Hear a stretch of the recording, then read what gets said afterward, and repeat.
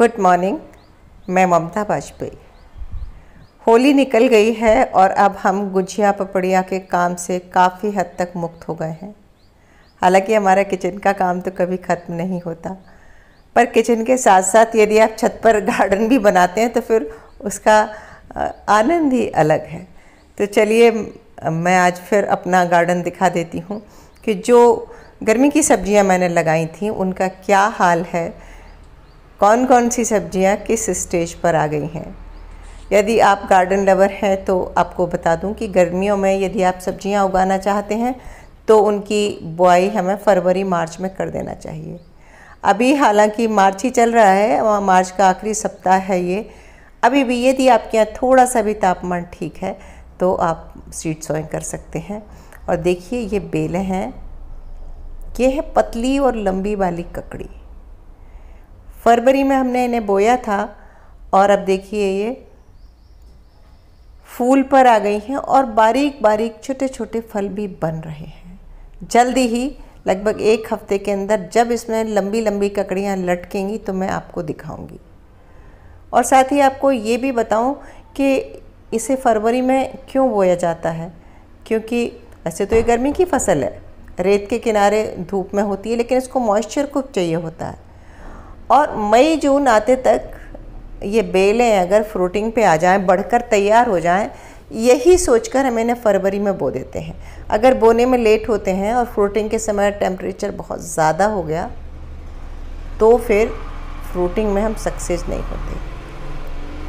और ये भी मैंने आपको बताया है कि देखिए, डबल मंजिल का नेट बना है हमारा।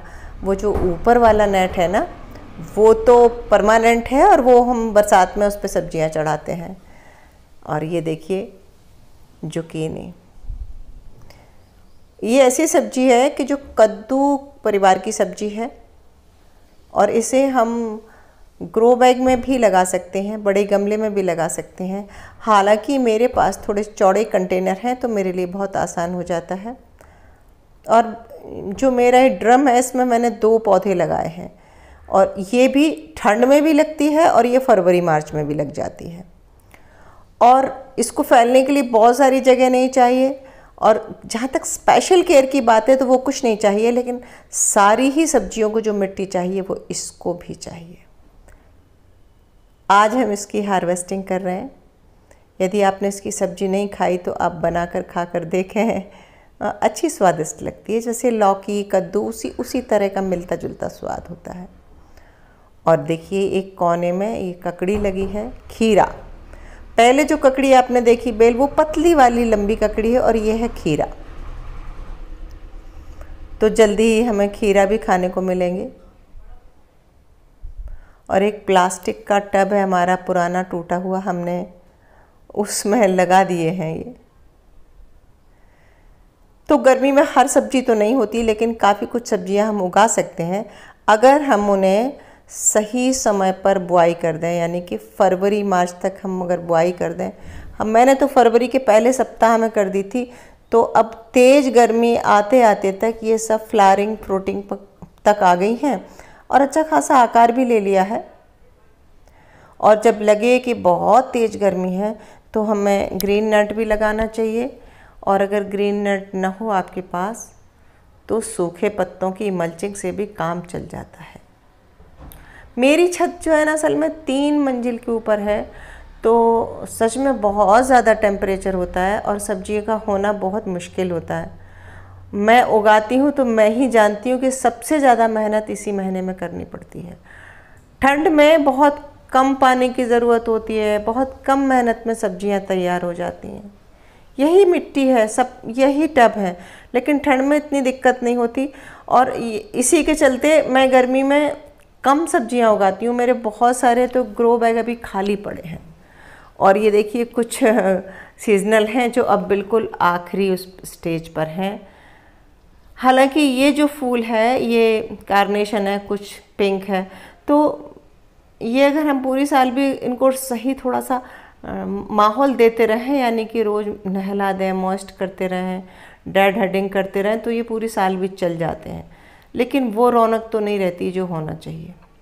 और हाँ गर्मी में जब हम लगाते हैं, वो ख़ास बात तो मैं बताना भूल ही गई। हमेशा हाइब्रिड बीज लेना चाहिए। जैसे कि मेरी ये सेम है। ये फरवरी में लगाई हुई सेम देखिए आप फल रही है। और हाँ इसने बहुत आकार नहीं लिया, लेकिन हमारे खाने लायक मतलब हम दो, तीन, चार जन के लायक का जो परिवार है, तीन, चार लोगों का, उतनी सब्ज़ी उतरती है आराम से। और मैंने क्या किया, ये फरवरी में जो लगाई थी, ये तो फल रही है। और मैंने मार्च में भी लगा दिए साइड में ये बाँस गड़े देखिए तो ये चढ़ती हुई दिख रही है।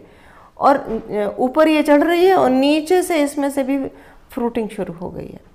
तो हाइब्रिड का यही तो मज़ा है कि बहुत जल्दी फलने लगती है।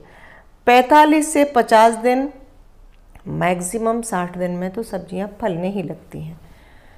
तो हाँ आप अगर नए हैं और सब्ज़ियाँ उगाना चाह रहे हैं तो ये मत करना, गर्मियों से शुरुआत मत करना।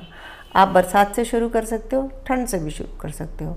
जब दो सीज़न का आपके पास अनुभव होगा तो आप गर्मी में आसानी से उगा सकेंगे। और कैसा लगा वीडियो, कमेंट करके ज़रूर बताएँ। मिलते हैं अगले वीडियो में। तब तक के लिए नमस्कार।